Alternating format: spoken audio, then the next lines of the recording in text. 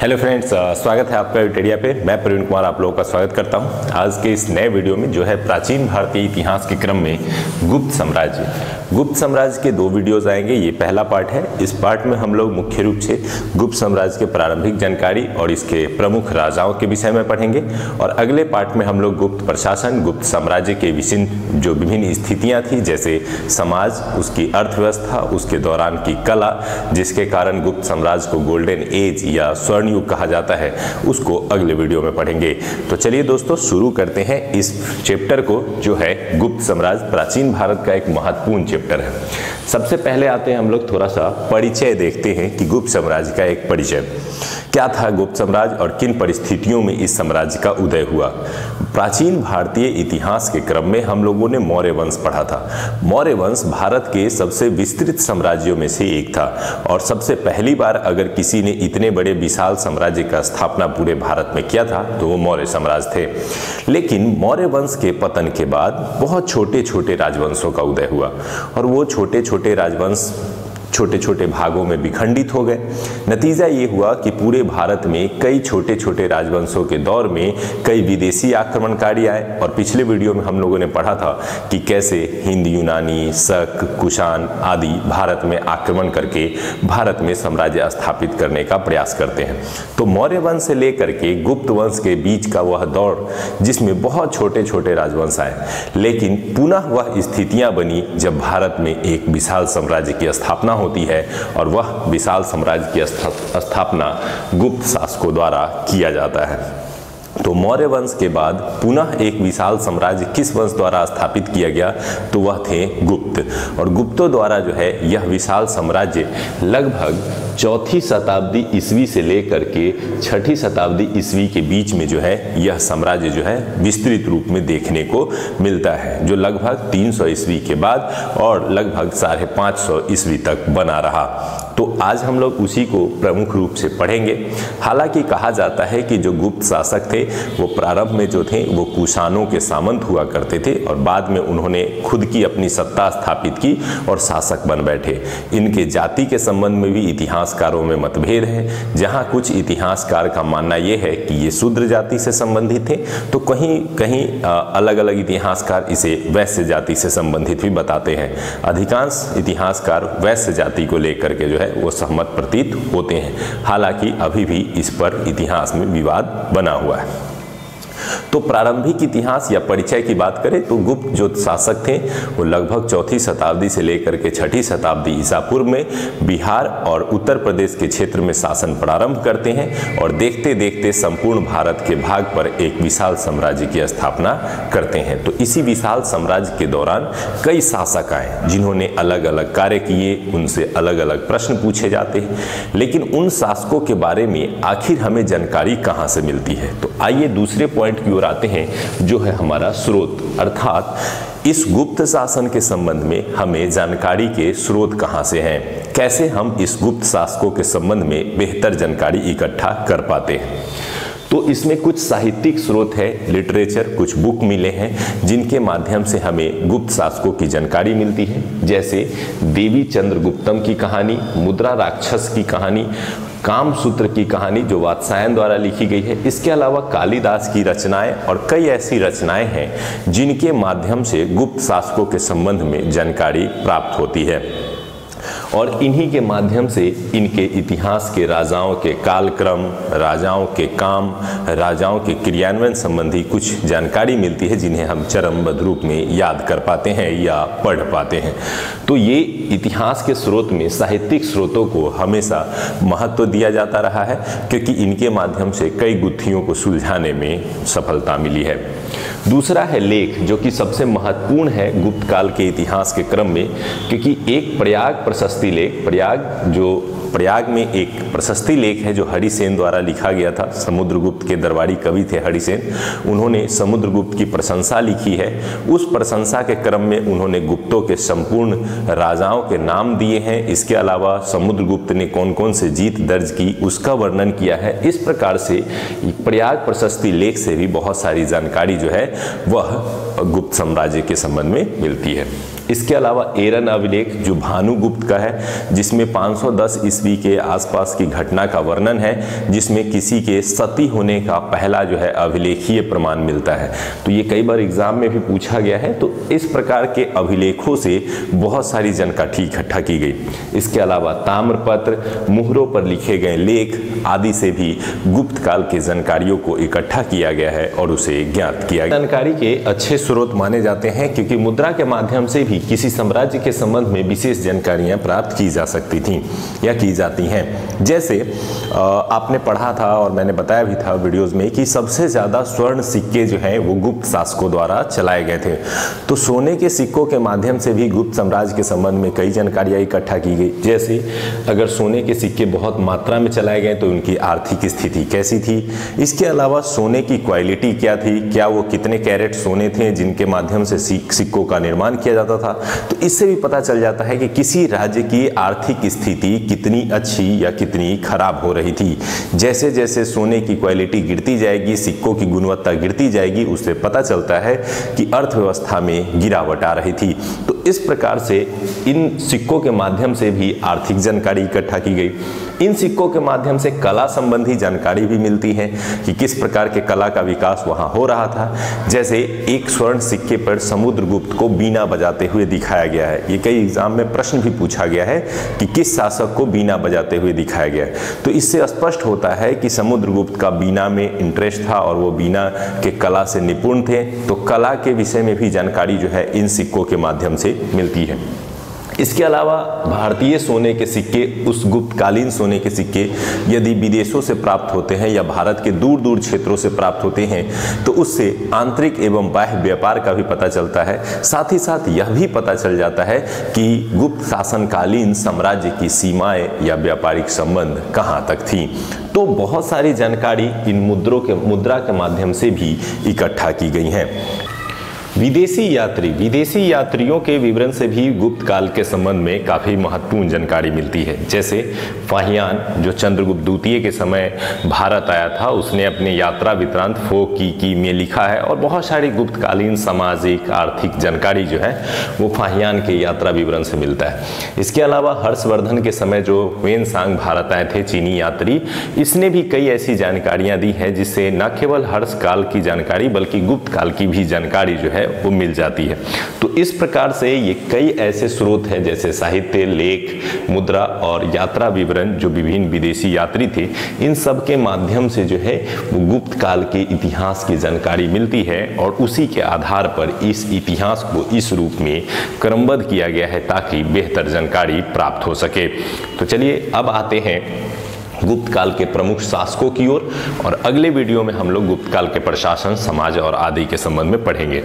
सबसे पहले आते हैं प्रमुख शासकों में पहला शासक श्री गुप्त। आपको याद रखना है बहुत सारे एग्ज़ाम में पूछा जाएगा कि गुप्त वंश के संस्थापक कौन थे। तो श्री गुप्त थे। श्री गुप्त ने लगभग 240 ईस्वी में इस वंश की स्थापना की। हालाँकि इसको लेकर के कई कन्फ्यूज़न है। कुछ बुक में 275 ईस्वी भी कहा जाता है कि श्री गुप्त ने इसकी स्थापना की थी। इनके संबंध में श्री गुप्त के संबंध में जो है, एक संस्थापक से जुड़ा हुआ प्रश्न आता है और दूसरा आता है कि इनके संबंध में जानकारी कहाँ से मिलती है? तो वही प्रयाग प्रशस्ति लेख जो हरिसेन द्वारा लिखा गया था, उसमें इनका नाम सबसे ऊपर है, जिससे ये पता चलता है कि शायद इस वंश की स्थापना श्रीगुप्त ने की थी। लेकिन श्रीगुप्त ने बहुत ही स्थानीय और छोटे स्तर पर इस वंश की स्थापना की थी और कोई बहुत बड़ा साम्राज्य स्थापित इन्होंने नहीं किया था। केवल गुप्त साम्राज्य की शुरुआत की थी। उसके बाद श्री गुप्त के बाद उनका पुत्र घटोत्कच गुप्त जो है, वो शासक बना था और कहा जाता है कि 280 में इनके बाद 280 ईस्वी से लेकर के 319 ईस्वी तक जो है, वो शासन रहा था घटोत्कच गुप्त का। और एक लंबा शासनकाल दोनों शासकों द्वारा चलाया गया, लेकिन इस शासन के दौरान कितना व्यवस्थित रूप में गुप्त साम्राज्य बढ़ा, ये बहुत ही कम जानकारी है। केवल इनके नाम ही जो है, वो प्रयाग प्रशस्ति लेख से मिलते हैं, अधिक जानकारी इनके विषय में नहीं है। लेकिन गुप्त शासकों में सबसे पहले महाराज की उपाधि धारण अगर किसी ने की थी तो वो घटोत्कच गुप्त ने धारण की थी। तो इस प्रकार से उम्मीद करते हैं कि इस पार्ट के आप, मैक्सिमम पार्ट को आप समझ गए होंगे। अब आते हैं हम लोग चंद्रगुप्त प्रथम की ओर, जो कि वास्तव में गुप्त वंश का अगर वास्तविक संस्थापक किसी को कहा जाता है तो वो चंद्रगुप्त प्रथम को कहा जाता है। तो इस पॉइंट को निश्चित रूप से आप ध्यान रखेंगे कि यदि संस्थापक पूछा जाएगा तो श्री गुप्त होंगे, लेकिन अगर वास्तविक संस्थापक पूछा जाएगा तो चंद्रगुप्त प्रथम, जिसका शासनकाल 319 ईस्वी से लेकर के 335 ईस्वी तक था, जो घटोत्कच गुप्त का पुत्र था। 319 ईस्वी में जब चंद्रगुप्त प्रथम शासक बना तो शासक बनने के उपलक्ष्य में उसने एक कैलेंडर चलाया जिसे गुप्त संवत के नाम से जाना जाता है। तो कई बार ये प्रश्न भी पूछा जाता है कि कब चलाया और किसने चलाया तो चंद्रगुप्त प्रथम ने जो है, वो गुप्त संवत चलाया था। इसके अलावा मैंने ये भी बताया था कि कुशानों में कनिष्क ने जो है, अठहत्तर ईस्वी में शासन, शासक बनने के उपलक्ष्य में उसने भी एक संवत चलाया था, जिसे सख संवत कहा गया था। तो ये आप ज़रूर याद रखेंगे। इसके अलावा गुप्त शासकों में सबसे पहला शासक चंद्रगुप्त प्रथम था, जिसने महाराजा धीराज की उपाधि धारण की और साम्राज्य का विस्तार शुरू किया। यही कारण है कि इसे वास्तविक संस्थापक भी कहा जाता है और प्रथम शक्तिशाली राजा के रूप में भी देखा जाता है। तो गुप्त शासकों में सबसे पहला प्रथम शक्तिशाली राजा कौन बना था? तो चंद्रगुप्त प्रथम बना था और इसी ने पहली बार महाराजा धीराज की उपाधि भी धारण की थी। इसने वैवाहिक संबंध द्वारा साम्राज्य विस्तार का प्रयास किया था। जो कि सबसे पहले आपने पढ़ा होगा बिंबिसार ने इस तरह की परंपरा शुरू की थी। तो लिच्छवी की राजकुमारी कुमार देवी से विवाह करके जो है, चंद्रगुप्त प्रथम ने जो है, अपने साम्राज्य के विस्तार को बड़ा करने का प्रयास किया था। इस प्रकार से प्रमुख शासकों में सबसे पहले प्रमुख शासक के रूप में चंद्रगुप्त प्रथम को जाना जाता है, जिनका शासनकाल याद रखेंगे। 319 ईस्वी से लेकर के 335 ईस्वी तक इनका शासनकाल था। इसके बाद जो प्रमुख शासक हैं, वो है समुद्रगुप्त। समुद्रगुप्त से बहुत सारे प्रश्न पूछे जाते हैं। ये 335 ईस्वी में शासन की गद्दी पर बैठते हैं और 375 ईस्वी तक इनका शासनकाल रहता है। समुद्रगुप्त से जुड़े हुए कई प्रश्न हैं। समुद्रगुप्त इस वंश का सबसे प्रतापी शासक बना, जिसने साम्राज्य विस्तार के साथ साथ साम्राज्य को सुदृढ़ करने का भी प्रयास किया। यही कारण है कि इनके विशाल साम्राज्य के निर्माण के क्रम में स्मिथ ने, आपको ये याद रखना है कि Vincent Smith V A Smith ने समुद्रगुप्त को जो है वो भारत का नेपोलियन कह करके संबोधित किया है और कई एग्ज़ाम में इसे पूछा गया है। यह नेपोलियन इसलिए कहा गया था क्योंकि समुद्रगुप्त ने जो है कई उत्तर भारत और कई दक्षिण भारत के राज्यों को जीत करके अपने गुप्त साम्राज्य का आकार जो है वो बहुत बड़ा कर दिया था। आइए इसके संबंध में कुछ और जानकारी पढ़ते हैं। हरिसेन हरिसेन कौन थे? तो समुद्रगुप्त के दरबारी कवि थे। हरिसेन ने समुद्रगुप्त की प्रशंसा में एक अभिलेख लिखा, जिसे प्रयाग प्रशस्ति लेख के रूप से जाना जाता है। यह पहले कौशाम्बी में था, जिसे अकबर ने इलाहाबाद अर्थात प्रयाग में स्थापित कराया और जिसे अब वर्तमान में प्रयाग प्रशस्ति लेख के रूप में ही जाना जाता है। तो इस प्रयाग प्रशस्ति अभिलेख की रचना किसने की थी? तो हरिसेन किस शासक के समय हुई थी रचना तो समुद्रगुप्त। इसी अभिलेख में समुद्रगुप्त के जितने भी विजय हैं, जितनी भी जीत हुई थी उनकी उसके संबंध में चर्चा मिलती है। इस अभिलेख से प्रमुख चर्चा में है कि आर्यावर्त अर्थात उत्तर भारत के उसने नौ राजाओं को पराजित किया था, जबकि दक्षिणावर्त दक्षिण भारत के बारह राजाओं को जो है, वह समुद्रगुप्त ने पराजित किया था। तो उत्तर भारत के नौ और दक्षिण भारत के बारह राजाओं को पराजित करने वाला शासक था समुद्रगुप्त। इसकी जानकारी मिलती है प्रयाग प्रशस्ति लेख से। यह जो अभिलेख है, वास्तव में सबसे पहले अशोक ने बनवाया था और यह अभिलेख कौशाम्बी में स्थित था।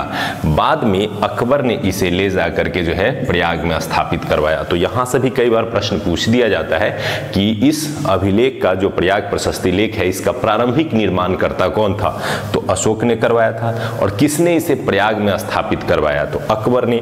बाद में मुगल काल में भी इसमें कई खुदाइयाँ हुई और उस पर कुछ अन्य चीज़ें भी लिखी गई और लिखने लिखने के बाद इस अभिलेख से जहांगीर और बीरबल के संबंध में भी जानकारी प्राप्त हो जाती है। तो इस प्रकार से प्रयाग प्रशस्ति लेख में केवल समुद्रगुप्त का ही वर्णन नहीं है, बल्कि कई अन्य राजाओं का भी वर्णन मिलता है। समुद्रगुप्त न केवल एक विजेता था, बल्कि कला प्रेमी भी था। समुद्रगुप्त को कवि राज की संज्ञा भी दी गई है। तो ये भी कई एग्ज़ाम में पूछा जाता है कि किस गुप्त शासक को कवि राज के नाम से भी जाना जाता था। तो समुद्रगुप्त को जो है कवि राज के नाम से भी जाना जाता था। इसके अलावा समुद्रगुप्त जो है, एक अपने सिक्के पर बीना बजाते हुए रूप में भी है, जो कि उसके कला प्रेमी होने का एक प्रमाण दिखाता है।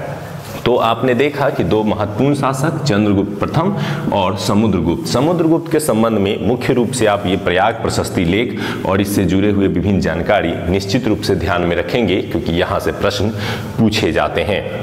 अब समुद्रगुप्त की मृत्यु के बाद उसका पुत्र चंद्रगुप्त द्वितीय शासक बनता है और यह 375 से लेकर के 415 ईस्वी तक शासन करता है। चंद्रगुप्त द्वितीय भी एक बहुत ही महत्वाकांक्षी और महत्वपूर्ण शासक के रूप में जाना जाता है। चंद्रगुप्त द्वितीय ने शासन में आने के बाद शकों को पराजित किया और शक कौन थे? अपने पढ़े थे कि मौर्यों के बाद जो विदेशी आक्रमणकारी थे, उसमें से मध्य एशिया से आने वाली एक जनजाति समूह था शक। तो शकों का साम्राज्य इतना बढ़ चुका था कि वो गुप्तों के लिए एक हमेशा चैलेंजिंग था। नतीजा ये हुआ कि शकों को पराजित किया। पराजित करने के बाद चंद्रगुप्त द्वितीय ने विक्रमादित्य की उपाधि धारण की। तो किस चंद्रगुप्त को विक्रमादित्य के नाम से जाना जाता है, ये भी कई बार प्रश्न में बनता है। तो आप इसे याद रखेंगे कि चंद्रगुप्त प्रथम को नहीं, बल्कि चंद्रगुप्त द्वितीय को चंद्रगुप्त विक्रमादित्य भी कहा जाता है। और चंद्रगा चंद्रगुप्त विक्रमादित्य ने जब शकों को पराजित किया तो इस उपलक्ष्य में उसने चांदी के सिक्के भी चलवाए थे। तो यहाँ से भी कई प्रश्न पूछे जाते हैं कि किस गुप्त शासक ने चांदी के सिक्के चलवाए थे। हालाँकि आपको मैंने पहले भी बताया है कि गुप्त शासकों द्वारा भारत में सर्वाधिक स्वर्ण सिक्के जो है वो चलाए गए थे। तो ये एक महत्वपूर्ण बिंदु है जिसे आपको याद रखना है। अब चंद्रगुप्त द्वितीय चंद्रगुप्त द्वितीय के दरबार में नौ रत्न रहते थे। ये भी कई एग्ज़ाम में पूछे गए हैं कि चंद्रगुप्त चंद्रगुप्त द्वितीय के दरबार में नवरत्न रहा करते थे। नवरत्न से तात्पर्य है कि ऐसे लोग जिनके पास विशिष्ट कलाएँ थी, जिसमें धनवंतरी जो थे वो बहुत फ़ेमस थे और कई ऐसे व्यक्ति थे जो अलग अलग गुणों से निपुण थे। उन्हीं व्यक्तियों का एक समूह था जिसे नवरत्न के रूप में जाना जाता था और कहा जाता है कि चंद्रगुप्त द्वितीय के समय दो राजधानी के रूप में विकसित हो चुके थे, एक पाटलिपुत्र और दूसरा उज्जैन। तो स्पेशली उज्जैन क्षेत्र के दरबार में जो है नवरत्नों का एक समावेश समावेश देखने को मिलता है।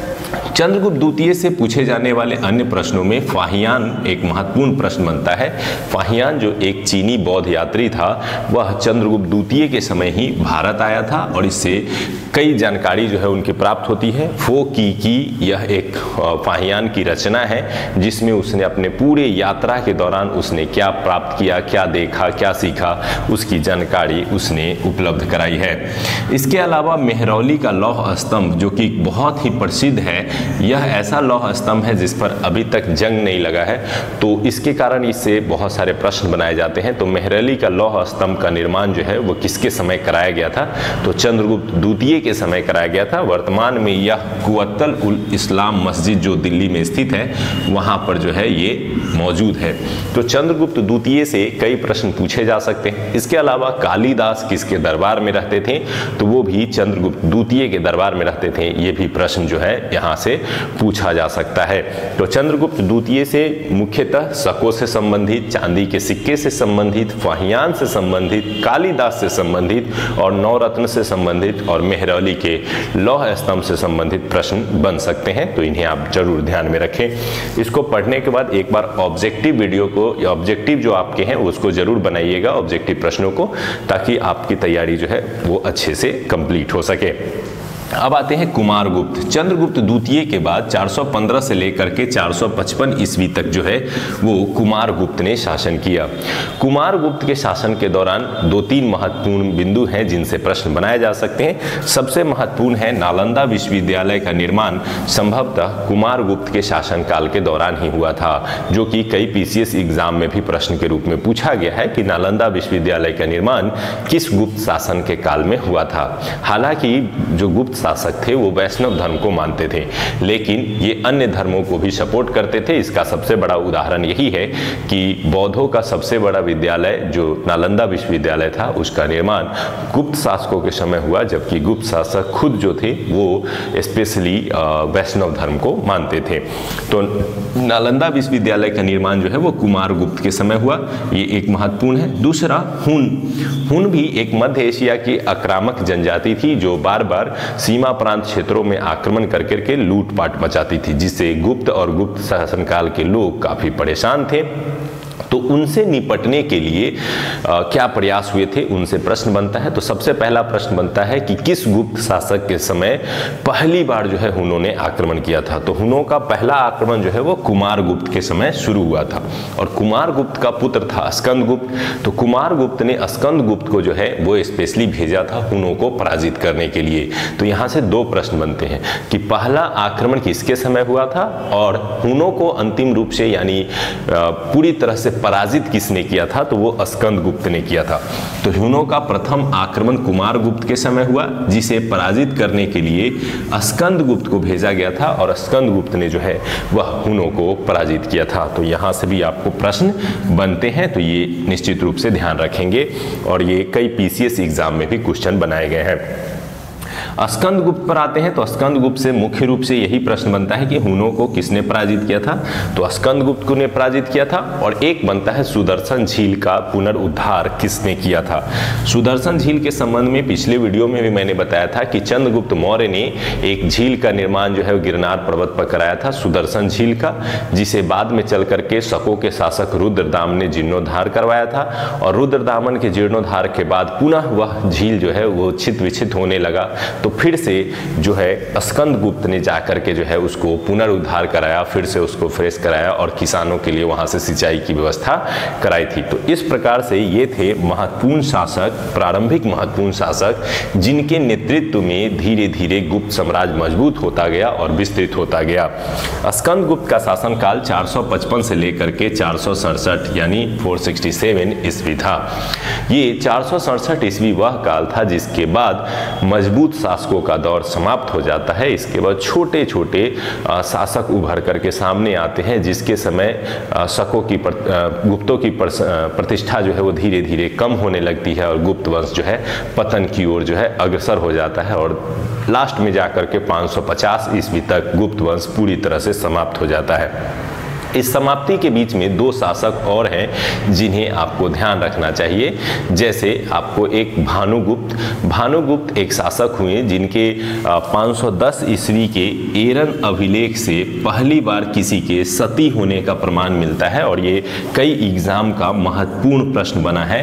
तो यहाँ से एक प्रश्न बनता है कि एरन अभिलेख किसके समय निर्मित हुआ था? तो भानुगुप्त भानुगुप्त कौन था? तो गुप्त शासक था। और 510 ईस्वी में यहाँ पर जो एरन एरन अभिलेख बना। उस एरन अभिलेख में किसी भी महिला के पहली बार सती होने का अभिलेखीय प्रमाण जो है, वो मिलता है। और लास्ट जो है, वो है विष्णुगुप्त। विष्णुगुप्त को संभवतः यह गुप्त वंश का अंतिम शासक था, जो लगभग 550 ईस्वी में इसकी मृत्यु हो जाती है और उसके बाद यह गुप्त शासन जो है, वो समाप्त हो जाता है। तो आज के वीडियो में मुख्य रूप से हम लोगों ने गुप्त के संबंध में परिचय, गुप्त शासकों के संबंध में जानकारी के स्रोत और गुप्त के प्रमुख शासकों के संबंध में हम लोगों ने कुछ मुख्य बिंदुओं को देखा। अगले वीडियो में हम लोग मुख्य रूप से देखेंगे कि गुप्त प्रशासन की नींव कैसे पड़ी, गुप्त समाज, गुप्त अर्थव्यवस्था और गुप्त काल की कला व्यवस्था का कैसे विकास हुआ और क्यों गुप्त काल को स्वर्णयुग कहा जाता है, क्या उसे स्वर्णयुग कहना सही है या नहीं, ये हम लोग अगले वीडियो पार्ट टू में देखेंगे। तो धन्यवाद एडुटेरिया से जुड़ने के लिए और इतना सारा लाइक कॉमेंट्स और शेयर करने के लिए। इसके अलावा अगर आपने प्राचीन भारत के वीडियोस नहीं देखे हैं पूरे तो उसके लिंक नीचे डिस्क्रिप्शन में दिए जा रहे हैं, उससे आप लोग देख लें। धन्यवाद। Thank you.